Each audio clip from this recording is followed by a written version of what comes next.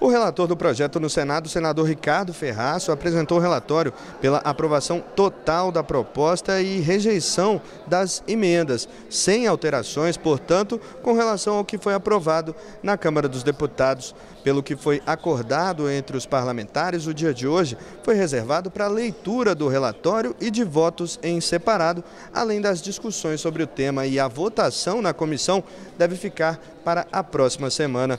No Senado, o projeto de lei que moderniza a legislação trabalhista brasileira já foi aprovado na Comissão de Assuntos Econômicos. Tramita agora na Comissão de Assuntos Sociais e ainda deve passar pela Comissão de Constituição e Justiça antes de seguir para o plenário da Casa. Essa proposta foi encaminhada pelo governo federal ao Congresso Nacional para adequar a legislação às novas relações de trabalho e favorecer a geração de empregos no país.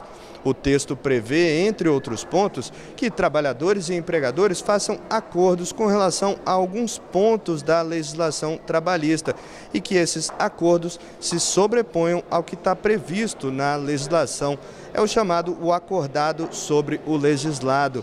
Isso vale para algumas questões, como parcelamento de férias, banco de horas e trabalho de casa. Mas o projeto de lei, ele preserva os direitos dos trabalhadores, como o direito a férias, ao fundo de garantia por tempo de serviço e ao seguro-desemprego, entre outros pontos. A nossa proposta, ela mantém todos os direitos consagrados e amplia a perspectiva de nós integrarmos mais brasileiros no mercado de trabalho com carteira assinada e com todos os direitos.